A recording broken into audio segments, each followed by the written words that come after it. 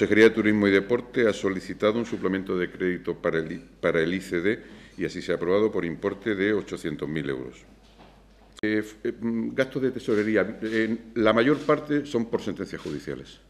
Eh, o sea, necesidades de tesorería para hacer frente a sentencias judiciales.